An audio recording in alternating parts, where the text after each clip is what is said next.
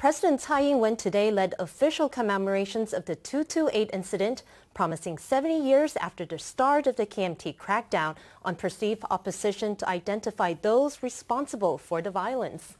Tsai also vowed to push efforts to secure transitional justice in the current legislative session, saying that the goal of such efforts was reconciliation, not division. On the first February 28 of her term, President Tsai promised at a central government memorial event to find out the full truth behind the incident that shaped the country's modern history.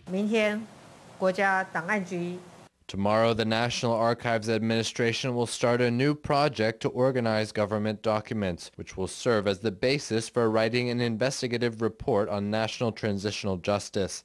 There will be a unit dedicated to handling documents on 228, and I want to make it especially clear that we will use the utmost rigor in determining responsibility over the incident. I also hope that the bill to promote transitional justice can be passed into law during the current legislative session so that we can have an independent authority handling the work of transitional justice in Taiwan.